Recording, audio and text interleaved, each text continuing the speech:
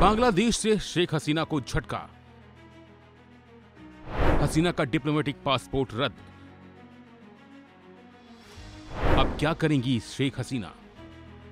बांग्लादेश में तख्ता पलट हुए काफ़ी दिन बीत चुके हैं। बावजूद इसके ना तो हिंसा की घटनाएँ थम रही हैं और ना ही पूर्व पीएम शेख हसीना की मुसीबतें।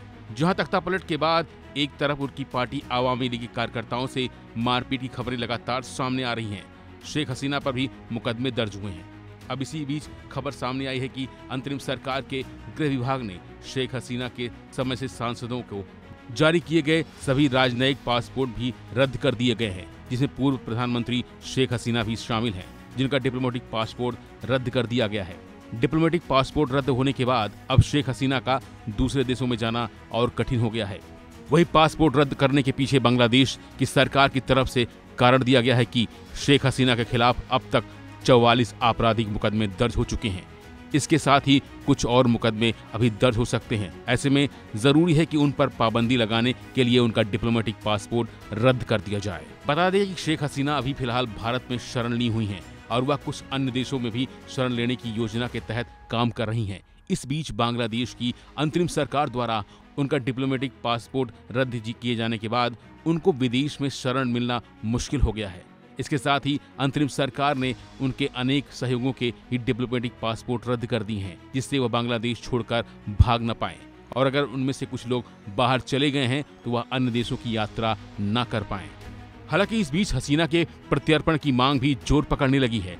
सूत्रों की माने तो बांग्लादेश की नई अंतरिम सरकार शेख हसीना के प्रत्यर्पण पर विचार कर रही है। बांग्लादेश की मुख्य विपक्षी पार्टी बीएनपी यानी बांग्लादेश नेशनल पार्टी, ने भारत से शेख हसीना के प्रत्यर्पण की मांग की है, ताकि उन पर बांग्लादेश में मुकदमा चलाया जा सके। शेख हसीना के खिलाफ बांग्लादेश में हत्या समेत कई मामले दर्ज हैं। मंगलवार तक उनके खिलाफ दर्ज केसों की संख्या 25 पहुँच चुकी है।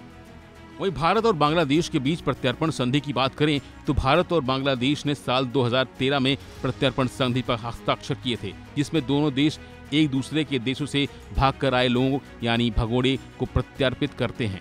हालाँकि द्विपक्षीय प्रत्यर्पण संधि राजनीतिक से संबंधित लोगों पर लागू नहीं होती, जब तक कि भगोड़े इंसान पर हत्या जैसे संगीन आरोप न हो। बताया जा रहा है कि बांग्लादेश की इस मांग को भारत प्रत्यर्पण संधि के अनुच्छेद आठ का हवाला देकर इनकार कर सकता है, क्योंकि अनुच्छेद आठ में कहा गया है कि अगर प्रत्यर्पण की मांग अच्छी मंशा से हो या फिर न्याय के हित में न हो तो उससे इनकार किया जा सकता है। इस बीच बीएनपी की मुखिया पूर्व प्रधानमंत्री खालिदा जिया का कहना है कि शेख हसीना के अपराध प्रत्यर्पण योग्य है, इसलिए उन्हें भारत से वापस बांग्लादेश भेजा जाना चाहिए। दरअसल बांग्लादेश में 5 अगस्त को छात्रों का विरोध प्रदर्शन हुआ था, जिसमें करीब 100 लोगों की जान चली गई थी। उस बवाल के बाद शेख हसीना को अपनी कुर्सी छोड़नी पड़ी और 6 अगस्त से वह बांग्लादेश छोड़कर भारत आ गई थी। और अब उसके बाद वो भारत में ही शरण ले रखा है। फ़िलहाल के लिए बस इतना ही, बाकी खबरों के लिए बने रहिए वन इंडिया हिंदी के साथ।